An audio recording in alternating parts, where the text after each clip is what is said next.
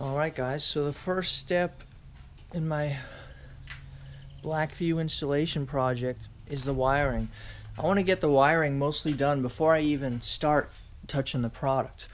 Um, getting the wiring from the interior to the engine compartment. That's the number one goal and there's no sense in me even starting with any of the camera stuff until I have done that. So I looked around in the engine compartment. Um, there is a rubber grommet somewhere over here. I'm going to start by removing this little panel, which is one little one little tab up there. See that? And see if there's something up in this corner or not. I may have to go over here a little bit and look under here. Um, I also looked over on the passenger side a little bit. There's one over there, but that's might be buried deep at the glove. It could be an option, but I want to see what it looks like under here first. Um, if the camera goes to the right, down the right A-pillar, that could be a possibility over there too. I'm basically looking for a grommet I can see anywhere along this firewall inside the car where it's easier to get to it inside the car and it may be a long reach in the engine compartment, but I could push stuff through and grab it with maybe pliers or something like that and try pulling it in and then tie it up all neatly later and wrap it whatever I want to do. So I'm basically just looking for a spot to get the wires through. I, I did, oh, I got a smear on the screen. Hold on. Maybe I can clean up the screen a little bit. Yeah, the smears are gone. Um, and I, did my Google and YouTube searches on this, forum searches. There's almost nothing on this exact generation for hard wiring. It's all radar detectors up in the mirror, crap like that, not stuff that you need for a dash cam. So anyway, I'll, I'll keep you updated. I think I have the spot that I'm going to use, guys. So I'm going to show you in nice detail where it is on both sides of the car. We're going to start with the engine side. So you look down your little brake, can you see that? Your brake reservoir hatch, right? Or down here. And what we're looking at down here is two two different sets of wires going through here. trying to, I can't really see the screen to see, let me bend this. I can't see the screen to see if you're, what kind of glare you're getting. But hopefully you can see two wires right there going through the firewall. One is a big thick one on top, and then you have a skinny one down lower. Now, I think these are the ones we're about to look at in the interior. Let's remember that that's about one inch next to the brake booster when we go inside, all right? All right, now my thoughts are those two ones, are these two ones right here on the interior. All I had to remove was that little two inch square piece that we showed you earlier. I'll show you again just in case I forgot. But what I and this bottom one here is your brake pedal, which is going. No, actually, it's not. My mistake on that. It's your hood. Your hood hatch here is your bottom one, which I don't really want to mess with that. And hopefully, the top one you can see up here with the camera right on it, I hope, is the place where I'm going to poke through and try and get my wires through. Um, it probably is easier to go from this side. It's hard to tell. Um, it's gonna. Ah, my shoulders are so screwed up. It's it's gonna be. Uh, let's see. What am I saying? Oh, I'll I'll try either way. I think it's easier to go from the inside on these, especially for the poking, because this is so deep, so deep in there. It'll be much easier to push from the engine from the interior side and get those yellow and red wires only. The black one can ground inside the car somewhere and feed those right out. And then somehow, probably under this plastic, get them to your fuse box. Then the whole next thing is finding the right fuses. That's the whole next phase here. So I think I'm going to go ahead and attempt this this work. I did buy fresh everything. I got two fuse taps. One was old, luckily. Alright, I went with 18 gauge wire on these. Um, there was 14 gauge I almost bought, and I knew that's totally unnecessary. You have a nice big copper center in these. 18 gauge is fine for this kind of system. That, that's not small wire, it's, it's normal wire. So, and I did, of course, buy the same colors. I do want it matching. Um, I could have used a nice long black and white pre pre shrunk loom I had, but I guess the OCD. I want the red and yellow to match the factory colors. So just because of that, I lost out on a sweet pre-wrapped loom I could have used. So anyway, let me uh, see if I can get this wire through. Alright, you can see right here, you can see right here that I did get that grommet loose. And you can see my screwdriver just barely in the side of that. So that is exactly what we're going to do to push this through. It could be tricky, a little tough to get it back, but you know, we'll have to figure it out. We'll have to reach in through this hole and get that thing back after we get the wire through. Guys, I found another good trick here to remove a couple clips and you'll be able to move this up a bit. Now the wipers will still keep it locked in, but you will be able to get a lot more. You got one more clip over here. Then you can really lift this and get plenty of arm room in there, which will make this job easier.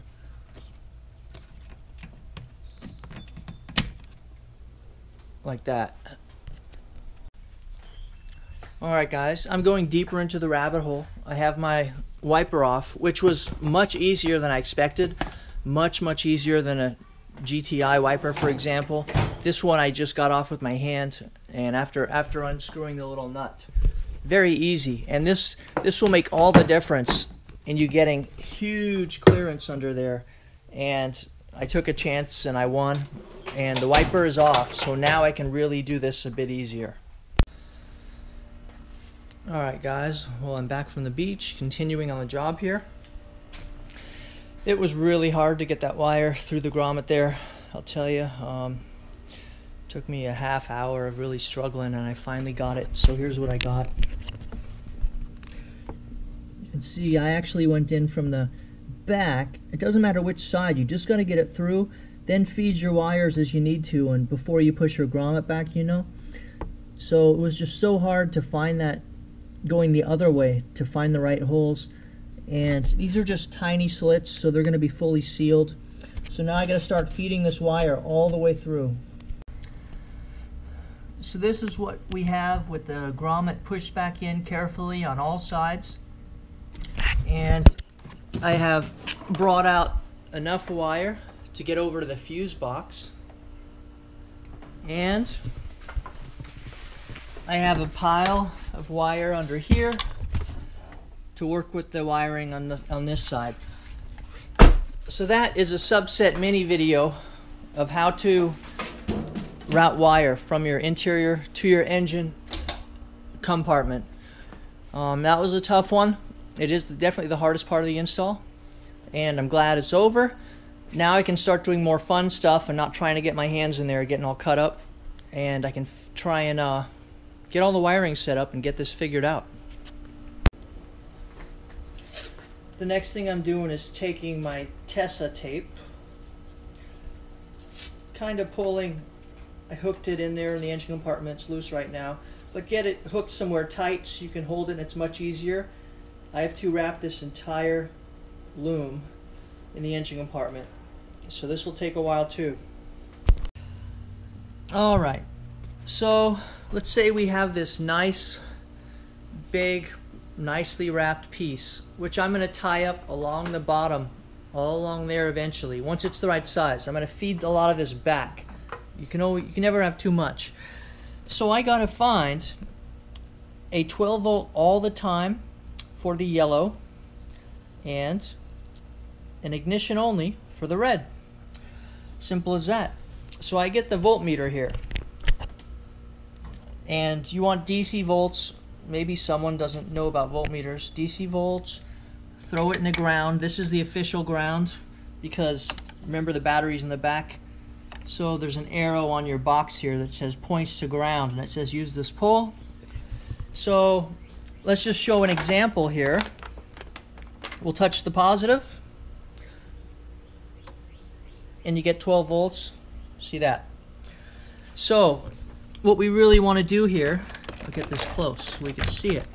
What we really want to do is check a bunch of these non-used fuse holes and look for a 12 volt constant. So, which I've already confirmed is like all of them. So C12, we go in here, 12, go in here, 12. So all three of these are always 12 volt. So that's going to be my yellow right there. So since I am going to connect these now, I went ahead and kind of put some safety tape on these ends just in case. You know, you don't want them shorting out anywhere. So just cover those up. You never know what they're going to hit in there until you're ready to do your interior side of the work. So I'm going to take one of my Adafuse and let me see if I have the box for you here. This is, yeah, this is one of them. This is my new one. So at any place, I got AutoZone, and Eaton HHH style with ATM is what you're looking for. All right, so I went ahead and I just guessed on the fuses, 15 to be perfectly safe. You know, 5 or 10 is probably enough, but I just do a 15 to be safe. Um, I don't think it's more than that. I can always change the fuses later. So all I'm going to do is plug this into one of the unused spots, one of three. I'm going to put it, that'll get in the way a little bit, whichever one fits good.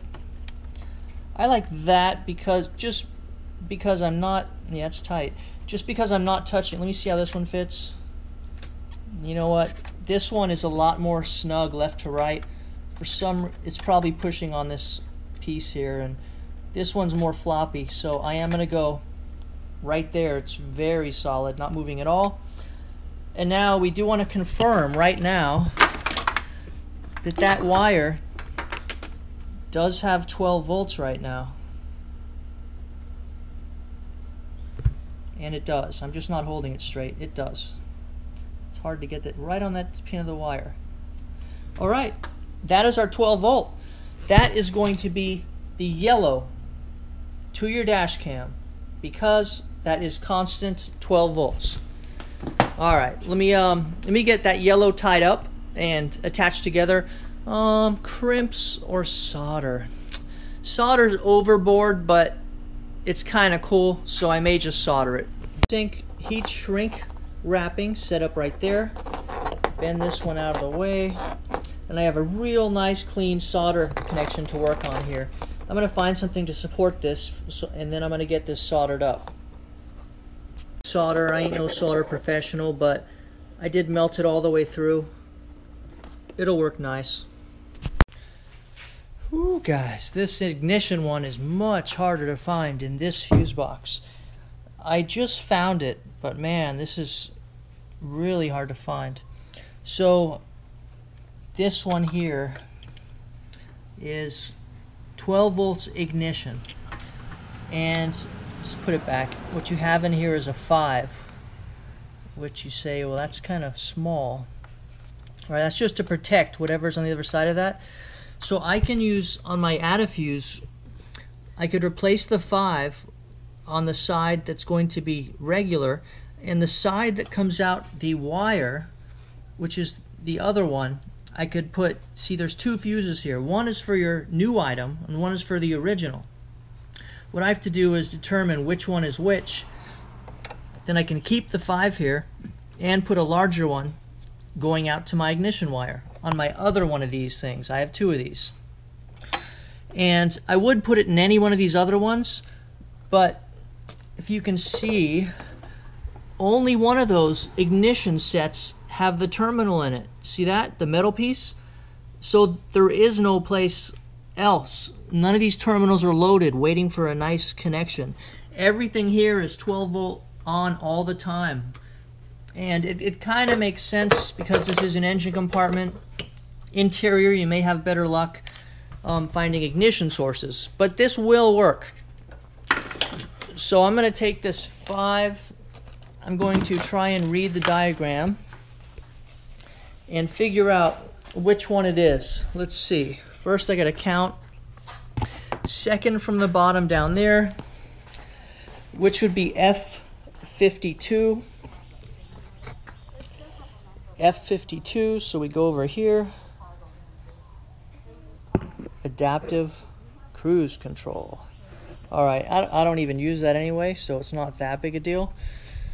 But that is the one I'm going to have to use. Um, what are the other Fs? 48 through all-wheel drive mod. Man, I wish there was a freaking uh, vacuum pump. All these ones that aren't there. The only and a spare, whatever. The only thing that is there is the adaptive cruise control. So that's the only only one I can use. I was about to like start having to go to to in, the interior for my ignition source, which would have been a big mess. I already ran all these wires, you know. Luckily, I found it. So I'm to go ahead and work on this one next, figure out uh, which side the fuse has to go on on that unit, on the fuse. The problem is I don't think it tells you. Oh, that's right. You're supposed to test it. You attach an accessory and you can put a fuse one at a time into each slot and make sure that you know which one is powering your item. That's what you can do. Oh, I got it. I got it now. Hold on a sec. Here's the test. Damn, how can I hold this? Let's see. I'm going to put the fuse into one of these. Just a five or something to keep it happy. Bury it in there. So, I'm going to plug this into our spot, right? Right in there. I may even find a better, hmm, no, I think that's right. That's perfectly solid. All right, um, now what I'm going to do, I'm going to turn on the ignition, which should activate the 12 volts, and see if this has 12 volts. This will tell me if this is the slot which uses the wire, or this is the slot which just connects the internal circuit. I would assume that this is the wire because it's top, you know, right next to the wire. It makes sense. So let's check. Going in here, turning on the ignition, all the way to run. Now we will test that wire. So let me find my piece here. All right, let me get this in a nice spot for you. Yeah, right there is good. All right, let's see if we got our 12. There you go close that. I do not. So this probably tells me that it is the other one unless this isn't reaching. I think it is reaching. I'm going to swap this fuse and test it again. This. That was the correct fuse size for this wire. You can check it out. I forgot that these can also be directional. If it doesn't work one direction, you flip it over. This works fine. It's aiming in now. It's even better than the way I had it before. So this is 12, right? We're going to turn off the ignition. We should no longer see 12. That 12 should be dead now. We're just going to check it. And then we're ready. I'm going to go ahead and solder and assemble everything. Let's check it here. Nothing has changed on the engine. And our 12 is gone. See that? That proves it. The bottom slot, let me get you a light. The bottom slot is going to be for that 5, which keeps the existing circuit going, which was in there. And then I'm going to replace this 5, which, which with whichever fuse I want for my webcam. I'm going to probably do a 10. Um, it probably doesn't need it. This is just ignition. This is not full power. I'll throw in a 10 in there. So be right back. All right, the next solder is complete. Plenty satisfying job. Next, I'm going to move the heat shrink over it and shrink it. And then I'm going to finish all the Tesa fabric tape, felt tape up to the edges here as much as I can after I place it. Then I'm going to start backwards feeding it and tying it down and feed it into the interior with everything I have left. It's been a lot of, it's been an hour, well, not really hours because I went to the beach for three hours. It's been a couple hours, guys, of actual work just for the wiring part. Um, I sure I could have done it a lot quicker. I should I could have half-assed it. I could have just T-clamped it wherever I want. But if you really want it nice, you know, you, you got to put in the time. All right, because I do want it super clean right along the edge of this box, I'm going to go ahead and file down a groove right here on the edge where the wire can sit in. Just like that. Yeah, it'll make a few bits of dust. I can deal with it. Alright, film this for five minutes. I'll be right back. Alright, so I want to show you how clean I got it. Um, I have to remember where this... Hmm. Can't remember where this goes. I'll figure out in a minute. But see that little... Well, let me cut out... I'll trim the excess right there. See that little groove I cut with an accompanying groove here just to show you what it'll do. Tuck that in the groove right there. Super slick. Go in here. Everything works perfectly. Perfect fit. Insane. Alright guys, so before I button up all that underhood stuff, I need to check these wires. So I'm going to snip off a bit so I can get to it. I'm going to find a ground. Hmm. Door hinges usually work good for ground. I got a hole right there? Not really. Shove it into a door hinge itself and it'll probably be all right. Um, let me see if I got 12 on this yellow. That's probably not a good ground, guys. Hold on. All right, so some things I discovered. Um, I think you need both fuses installed in that thing. Um, my 12 volt battery always on was dead on yellow we're talking about and that was the one where I only put a, a 15 in the top fuse slot of that add a fuse unit which was closest to that wire going out but here I just couldn't get it to be a 12 volt so I put another fuse in the other one which I may still be tripping out. I don't think it's needed.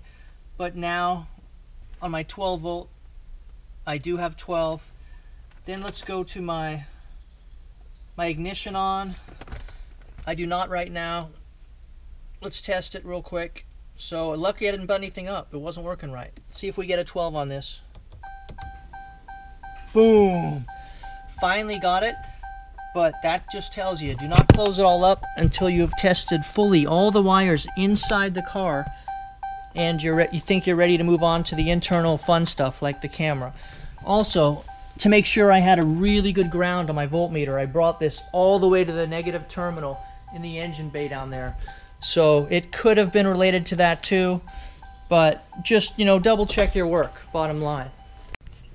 Alright guys, I wanted to show you the clean work. So it's coming out of my custom hole. I'm going to twist these tie wraps, zip ties as people, other people call them. Point all the pointers down and away and hidden. Super clean. Look, this harness looks like a stock harness. It looks super clean. Definitely, definitely super clean, definitely. Uh, move this one down. Yeah, hide it underneath. There. I'll have to move it a little bit to get in there right. Can't quite get it with one hand. And the last one for this section, twist that down there. It's invisible. Get it nice and tight. And now I gotta go across the whole top here with this wire and uh, working on it one step at a time.